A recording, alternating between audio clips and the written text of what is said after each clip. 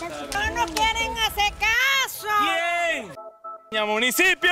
¡Valencia! ¿Cuál es la problemática? Bien, Siempre lo oigo por Panamericana. Ah. Esta es la casa mía, donde está botando ese, ese agüero también. Ah, comicate. Ya va, espérate, ¿qué vas a hacer? Ah, a subir para el segundo piso. Vamos ¿Por ahí? Se sube. Claro, porque tú lo ves facilito. Pa' verte. Pura que tiene hacia allá arriba. Háganlo un llamado a los organismos competentes, señora Pinto. Bueno, yo le estoy diciendo, porque hueco. Transporte público no tenemos aquí, no se meten las camionetas. ¿Quiere que lo lleve? Yo lo llevo. Vámonos para allá. Ah, a ver, ah, ahí mismo, ahí está. Tú eres el que sale en la televisión. Amén, mamá. Dame un beso. Dios te bendiga. Ahí tienes el codo de agua para que te bañes. Ya me bañé.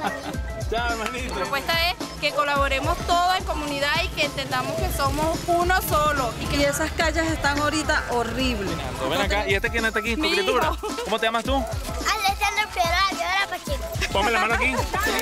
Eso, papá. Porque el agua, se- la luz se va cuando empieza a llover. Ay, quita la rolita de Navidad. Y ahí está el bombillo. Prende la bombillo. Ese bombillo está ahí porque yo lo puse, porque si no, no estuviera.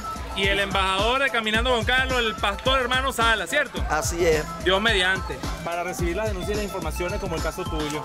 Mira, y aquí me ponen el agua en la mano sin ni siquiera pedirla, pero entonces, vale. Tome agua, tome Voy, agua, porque voy, nada salud. más que seco es la garganta de tanto hablar. Porque hermanos, mire, así, papá, así, con gente como usted o yo, y este futuro se construye.